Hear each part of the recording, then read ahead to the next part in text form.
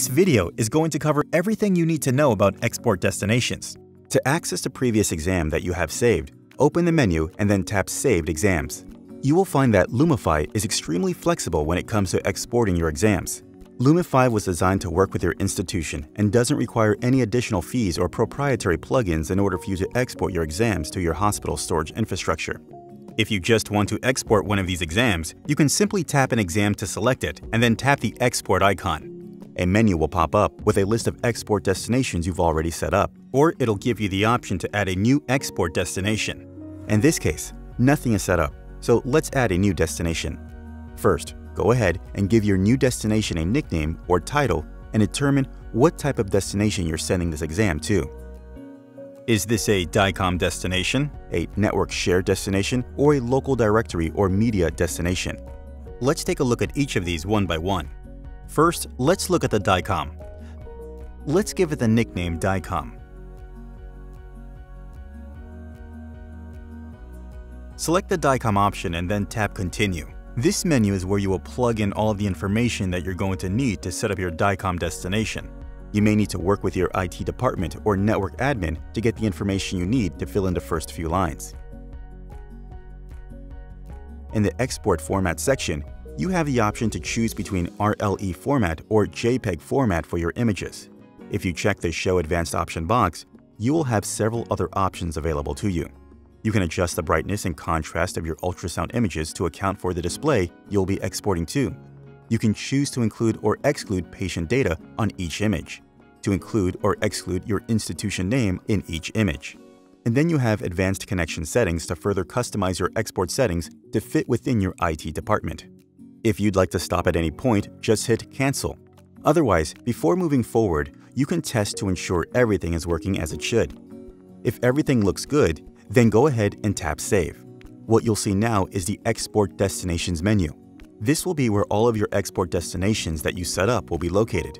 You'll identify them based on their names, as well as the icon and the information underneath the title or nickname of your destination.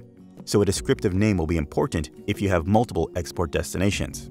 So let's add some more export destinations. We're going to name this one Network for Network Share. We'll choose the Network Share option and then tap Continue. Here you'll type in your hostname, user password, and remote directory.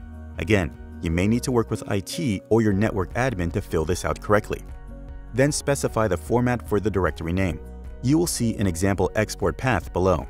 Next, choose your preferred file format. You can choose to export these in PC format. In this case, the images will come out as .png files and the videos will come out as .mp4 files. If you choose DICOM, you will then have the option to have the images saved in JPEG or RLE format. And you'll also have the option to fill in the Lumify AE title as well. So, let's say we're exporting these in PC format. If you check the box for Show Advanced Options, you can set the image resolution, you can adjust the brightness and contrast of your ultrasound images to account for the display you'll be exporting to, you have the option to include or exclude patient data on each image, to include or exclude your institution name in each image. And then you have advanced connection settings as well. You have the same options at the bottom to cancel, test, or save. And the last export destination type is local directory or media. We're going to name it local. Tap the circle for local directory or media, and then tap continue. In this case, you can change the directory, rename it, or you can tap the folder icon and look within the folder structure on your device to choose the export destination. When you find the right folder, go ahead and tap Select. You can edit your choice anytime by tapping the pencil icon. You can see the option to offer a prompt each time you export to this location. This may be helpful if you want to save exams to different folders from time to time and don't want to set up multiple local export destinations. Next, specify the format for the directory name. You'll see an example export path below. Choose the file type for this export destination. And then, by checking the Advanced Options box, you have the option, again, to adjust the image resolution, adjust the display composition, and choose whether or not you want to include patient data and or institution on each image. You can now see that we have one of each export destination here. Each of the icons are different and by tapping on any one of them, you can see a summary of how they were set up in that window. You can also edit or adjust these settings as you see fit.